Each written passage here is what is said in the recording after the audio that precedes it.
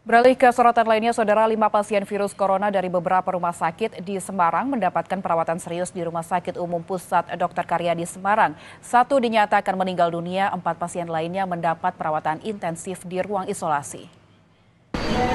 Dengan cekatan, para tim medis yang dilengkapi pakaian khusus tertutup membawa satu persatu pasien ke dalam ruang isolasi UGD RSUP Dr. Karya di Semarang.